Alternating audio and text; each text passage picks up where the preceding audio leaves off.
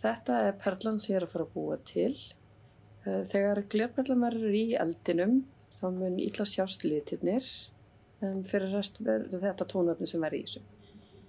Þannig er ég að byrja að hita upp, gleri hægt og rólega. Hitin er um 900 gráður Celsius.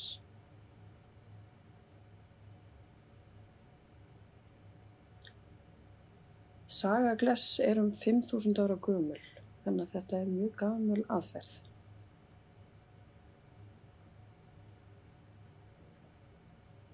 Þannig er ég byrja að byggja hana upp.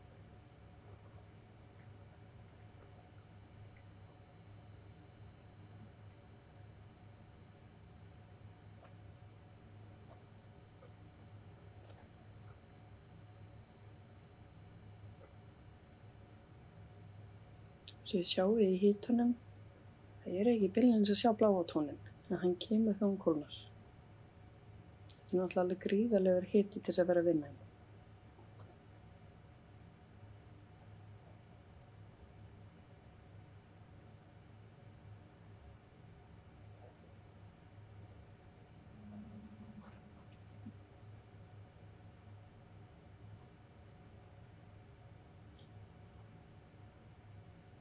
Þarna er ég að móta perluna.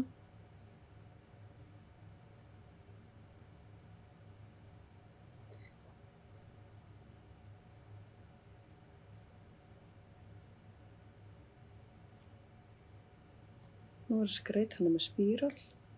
Þetta er hvítutótt sem ég nota þarna.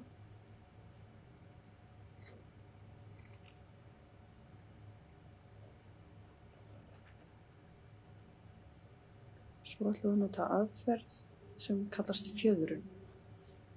Þá fer maður svona í gegnum hvítatónin sem maður er búin að setja á og myndar svona svo fjögur í gegnum munstri.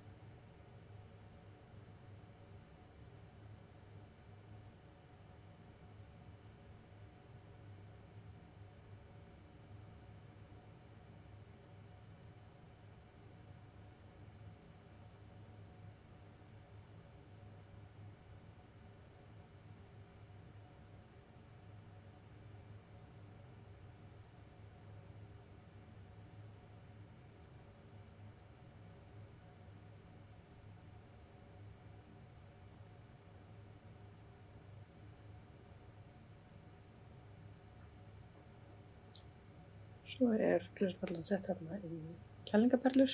Þetta einangra hitan í kringum perluna svo hún kólnar hægt og rólega út frá eigin hita.